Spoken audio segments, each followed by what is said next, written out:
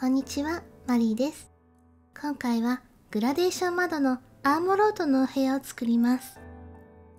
少しレトロなホテルをイメージしたこの内装は倉庫だし、剥がしなども一切使わないハウジング超初心者さん向けのお部屋です。概要欄には家具リストもあるのでチェックしてくださいね。まずは下準備です。今回床の内装に使うのはマス目のあるマーブルフローリングです。天井照明はテーマに合わせてアーモロートシャンデリアを設定します。それでは作っていきましょう。まず、ステージパネルを使ってお部屋の制作範囲を囲んでいきます。最初は奥から5マス目のところに中央のラインを挟んで1枚ずつ設置します。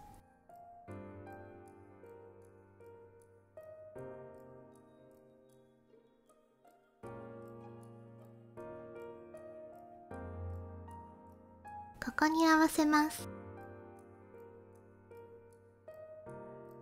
もう一枚も置きます。次にサイドのパネルを横から2.2マスのところに置きます。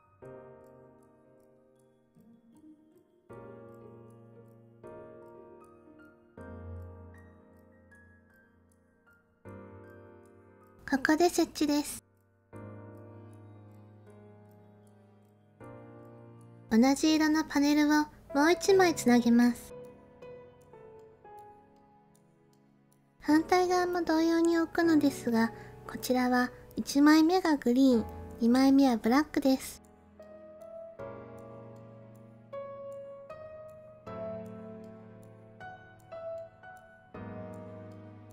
2枚目のブラックをつなげます。次は天井を作ります。畳ロフトを天井の一番近くまで持っていき、パネルに貼り付けます。この時、貼り付けは横のパネルに行います。貼り付けできる高さの一番上で奥のパネルと隙間ができないようにしましょう。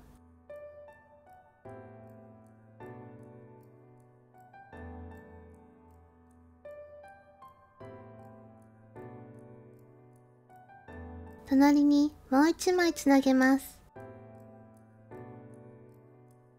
同様に反対側にも2枚貼り付けます。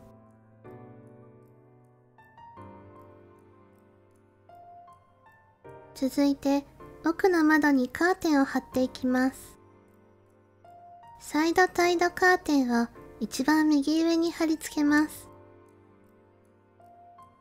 上の棒の部分が天井に隠れるように貼りましょう。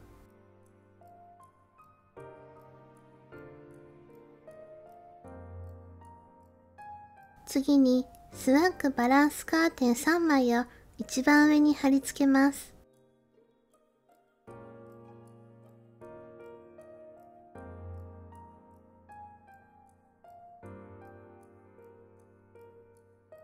上の方は見えにくいので主観モードにして作業するのもおすすめです。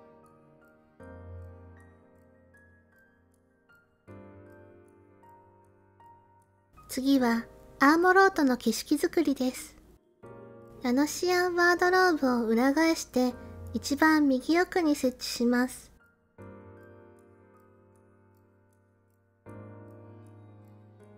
ローブが半分くらい見えるように置きましょう。次に御用邸の衣装ダンスをローブの隣に設置します。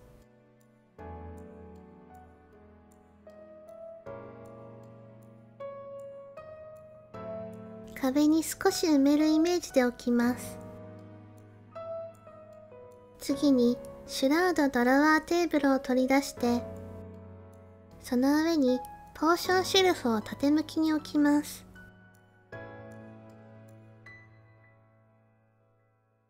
そしてテーブルをパネルの方に動かしていき、タンスのすぐ横にポーションシェルフが来るように設置します。続いてウォールランタンを貼り付けます建物の窓の光をイメージして高めの場所に2つ貼り付けます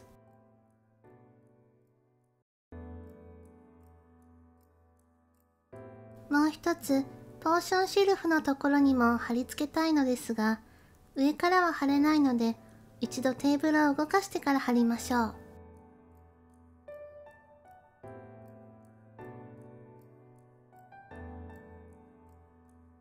左側は今回一番大きな家具モンスタートスを置きます。ゴールド操作のポイントと交換のミニゲームができる家具なのですが今回はこの辺りだけを使ってアーモロートの街並みを表現します。横向きのモンスタートスをパネルの方に動かしていき黄色のランプと編み掛けのカーブが表に見えるように置きます。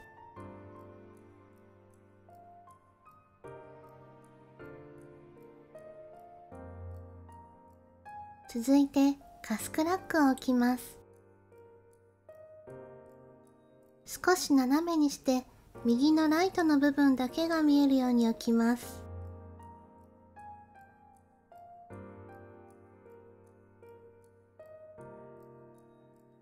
さらにジャナラーワードローブを裏返して重ねます。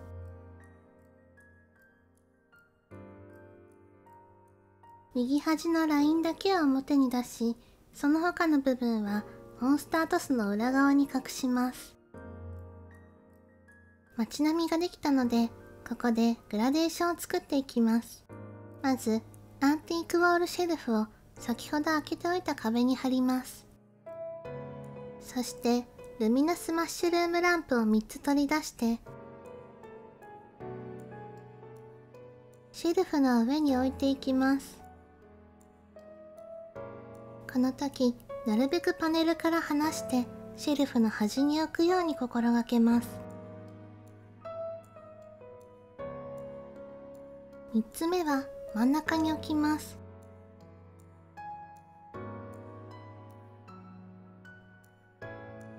続いて白金ダンスを取り出して裏返してからランプの近くに置きます。このタンスより上のラインが表に見える部分になるのでキノコの先がはみ出ないようにシェルフの高さを下げます。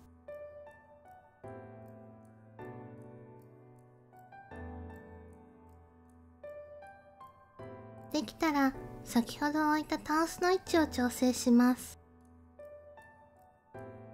奥の壁に寄せつつキノコが表にはみ出ない位置に置きましょう。横にも2つつなげておきます。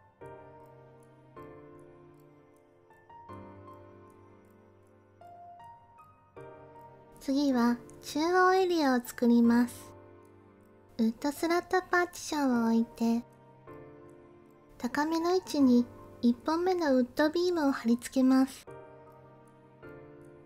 そして1本目の中央から少し下に2本目。2本目の中央から少し下に3本目。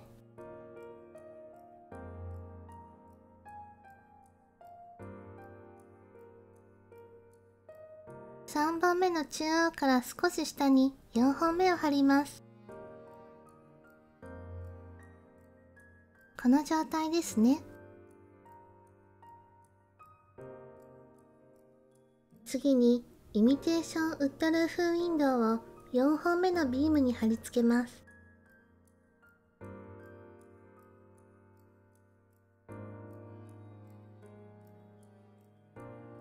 裏から見るとこんな感じになります。4本目を選択した時にウッドルーフの色も一緒に変わっていれば OK です。この状態で1本目のビームの高さを下げるとウッドルーフも下げることができるので一旦視界が良くなる位置まで下げます下げる高さの目安になるのはユールマーディバンです。見やすい位置に置いてからソファーの金色の部分にウッドルーフがかかるくらいまで先ほどのウッドビームを下げます。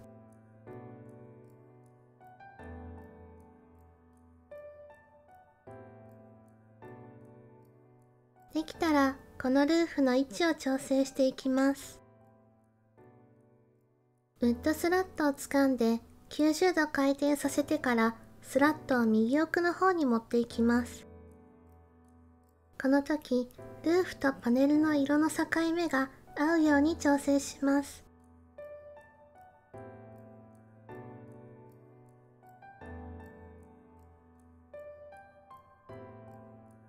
次は右の窓作りです。プリズンパーティションを緑のパネルに重ねます。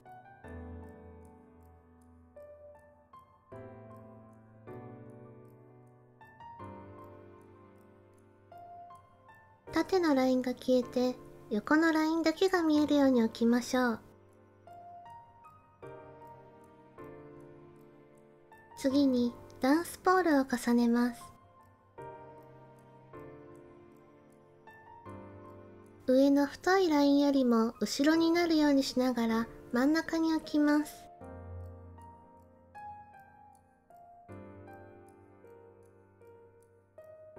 もう一本はタンスのラインに沿っておきます。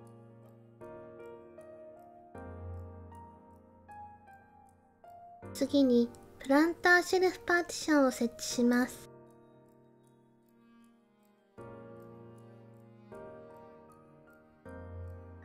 上の植物が薄く見えつつ下の台がパネルの境目に合う位置で置きましょう。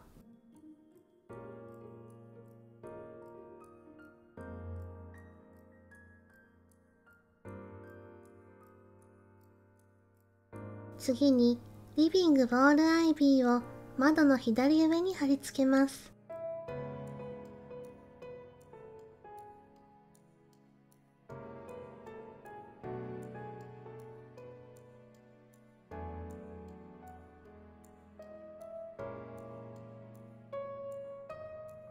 続いてステージカーテンをパネルの境目に貼り付けます。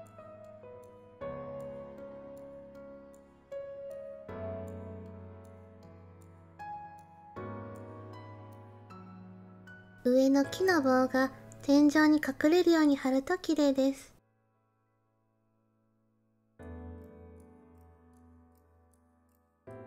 次にこの窓にもマッシュルームランプを仕込みます。台座に乗せる機能を無効にしてから窓に光が一番よく反射する場所を探って設置します。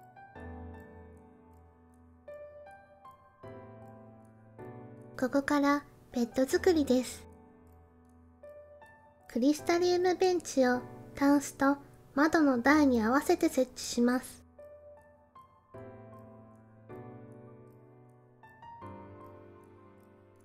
次に高さ合わせに使ったユールマーディバンの隣に2つ目を取り出します。並べてから妹の居眠りを使って寝た時に頭になる方を確認します。どちらも上側ですね。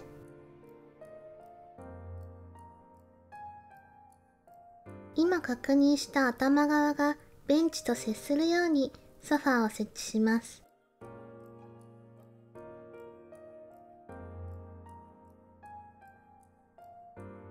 次に、ふ机を2つ取り出します。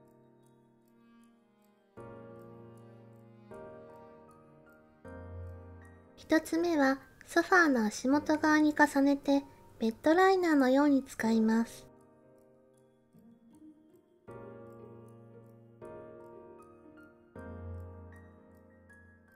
二つ目はベンチの椅子部分と高さが合うのでぴったり重ねるように置きます。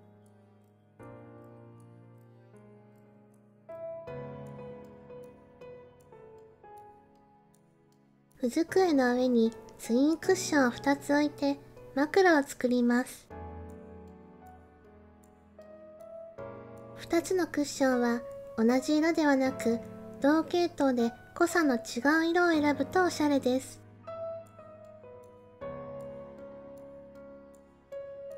次にベッドサイドのテーブルを作ります。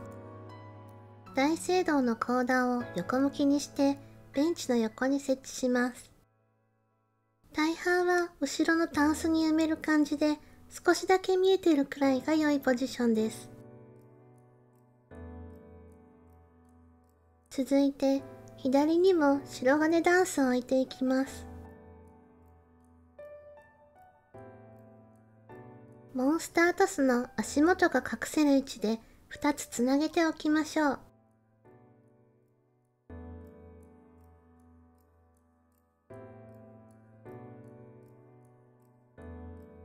タンスの間には御用邸のソファーを置きます。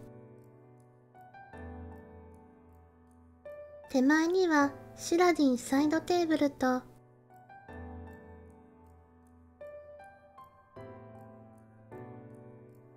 足元にメタルアクアリウム G1 を横向きで重ねます。テーブルの上に乗ってしまうときは台座に乗せる機能を無効にしておいてください。椅子の前には小さめの棚を置きたいので跳躍作業台を使います。小瓶が乗っている棚のところだけが見えるように置きます。ここまでできたらベッドエリアの小物をまとめて配置していきます。このエリアで小物は6個設置しますが、お好みで変えていただければと思いますので、ハージング初心者の方は、まずはこういうところで自分の好きな家具を選ぶ練習をしてみてください。今回はアーモロートの住人を思い浮かべながら小物を選んでみました。広いベッドでゆったりと読書をするイメージですね。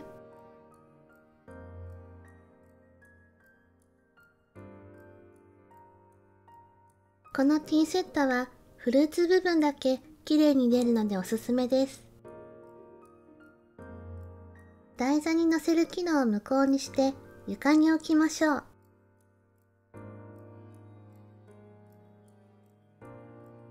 ソファーではお酒を飲むイメージでドリンクセットを置きました。テーブルからはみ出ないように調整します。左の棚は目立つ場所なので印象的な家具を置くのがおすすめです。講談の上にも物を置くことができます。置けないときは一度講談を手前に出してから乗せましょう。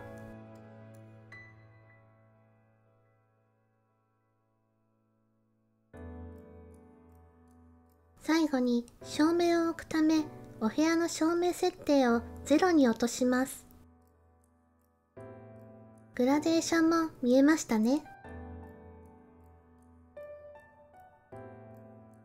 ベッドの下にはザナランランタンを置きます。動かしながら枕にきれいに光が当たる場所を探ってみてください。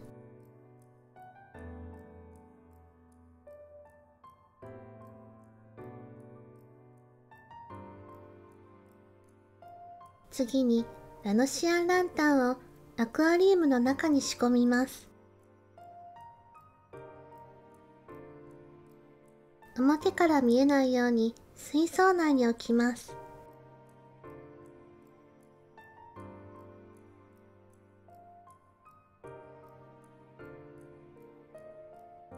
真ん中のエリアが完成しました。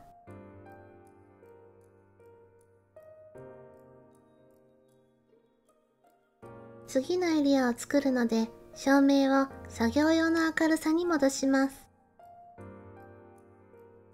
次は左のエリアです。まず、ウッドスラットパーティションを2つ置いていきます。先に棚の後ろあたりに一つ置いて、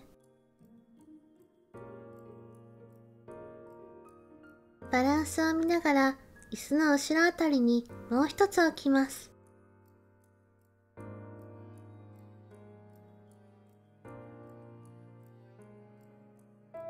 次にラージクロノメーターをスラットの間の壁に少し埋めるように設置します。そして御用邸のハープを時計の横でスラットの前になるように置きます。ートにある建物のイメージですね。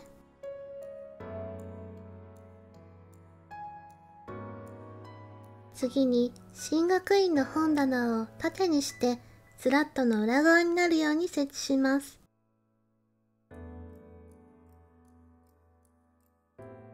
スラットの半分くらいまで重なるようなイメージです。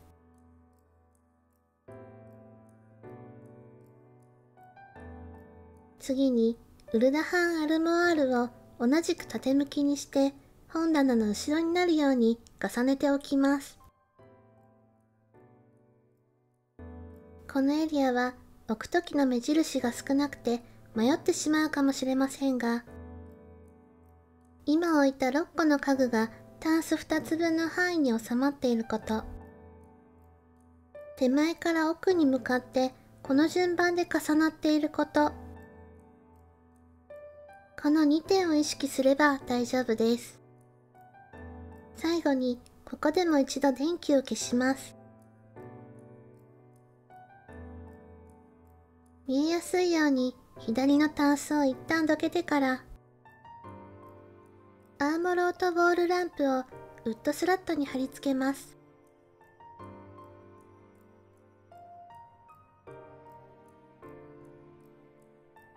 スラットの左下あたりでタンスの裏に隠れる位置に貼り付けましょう。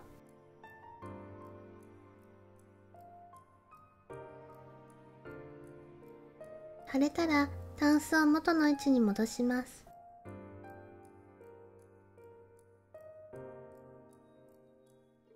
ここで照明も作業用に戻します。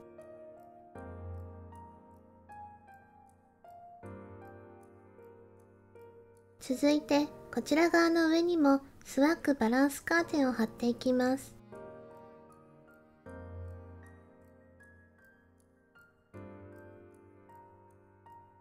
最初に貼ったカーテンとつなげるイメージで貼ってみてください。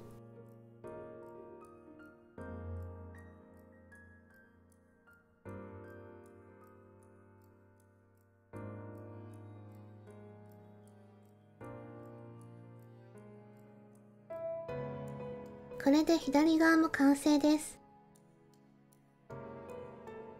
続いて手前の書斎エリアを作っていきます。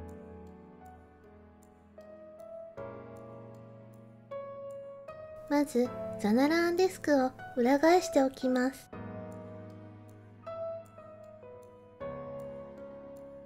パネルから1マスのラインよりも少し出したところがちょうど良いです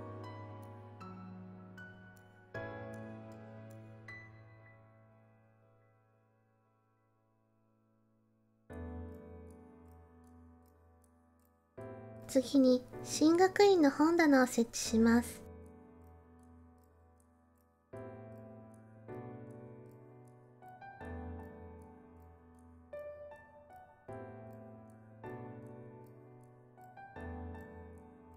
そしてシュラードワードローブを重ねます。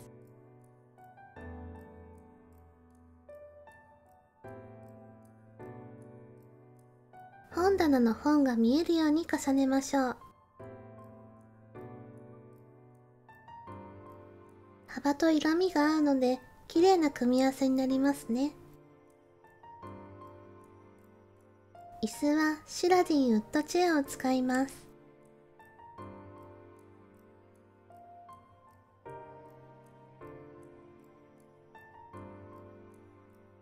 ここの小物もお好みですが、テイストが合うので、オーケストリアンフォノグラフはおすすめです。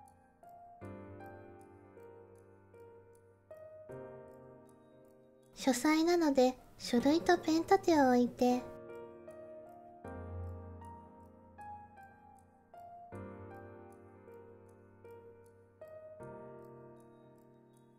右には積まれた本を置いてみました。そしてここでも一度照明を落とします。ペンダントウォールライトを棚の上に貼って本棚を照らしたいので、照明が本棚の真ん中に当たるように位置を調整していきます。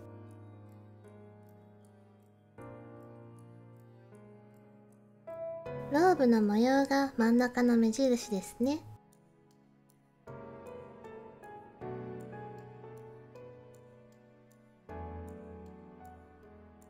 これで書斎エリアも完成です。照明を作業用に戻します。続いては入り口エリアです。アームローとインナーウォールに貼り替えたシュラードフリーパーティションをデスクにつなげるように設置します。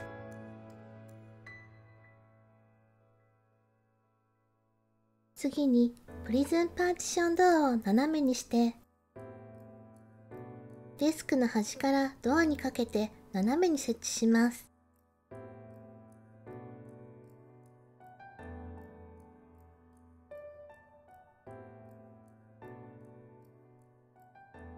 グリーンパーティションを斜めにしてプリズンドアの後ろに設置します。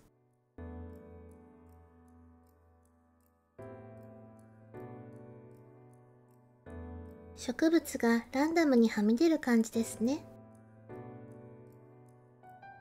次は玄関ドアです。まず、ウルダハンアルマールを裏返して設置します。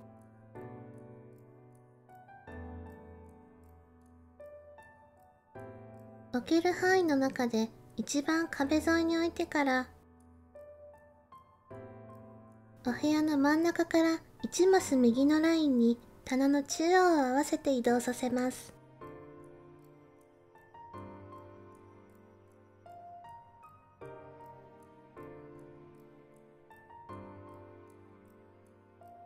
ブックシェルフシークレットパーティションを裏返して重ねます。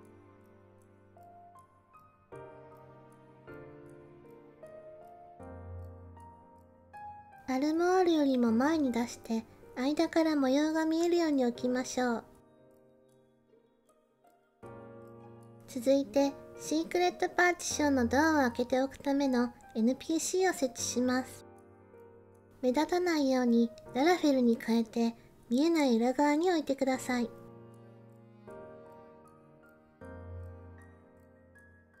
最後にアルマールの後ろにショーケースを置きます。このショーケースは間接照明の代わりなのでケース自体は表に見えないように置きます。ドアも完成しました。ドア脇には高さのある棚を作ります。劇団の仕切り大棚を今空いている隙間を埋めるように置きます。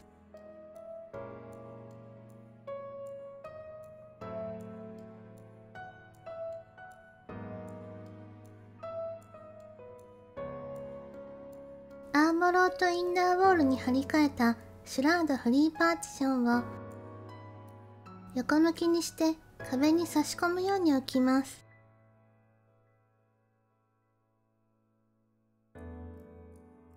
IB カーテンをフリーパテとウッドスラットの間に貼り付けます。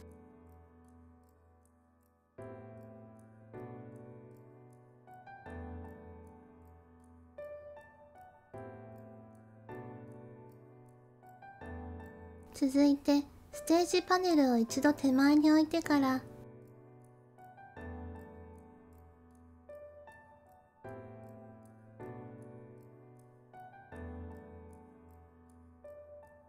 仕切り用棚のコートが薄く出るように重ねてカーテンを貼れるようにします。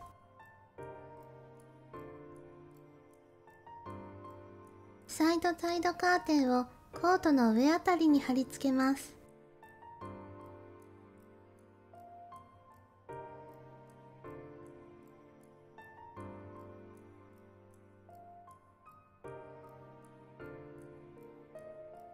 ダウンライトアウトロフトを緑のパネルの一番上に貼り付けます。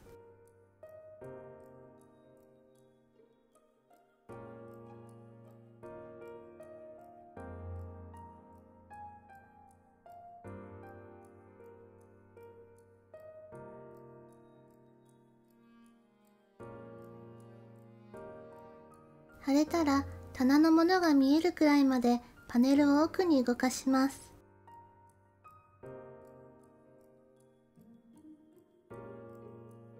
棚の下にはザナランディスクを重ねます。最後にシャーレアンラグを敷くのですがここで一つ注意があります。敷物家具は卓上家具の下を通ると卓上家具がくっついてきてしまうので卓上家具を置いていない仕切り用棚側に向けて一度出してから移動させてみてください。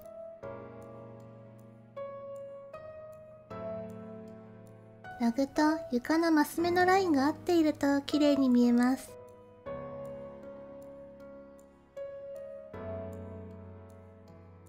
これで照明を落とせばグラデーション窓のアーモロートの完成です。